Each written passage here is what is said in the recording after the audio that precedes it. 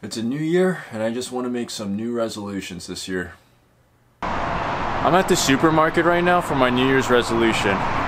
This year, I'm gonna smoke a pack of cigarettes every day. I'm doing this so I can have lungs of steel. I am walking into Popeyes right now. This year, I'm just gonna only eat meat.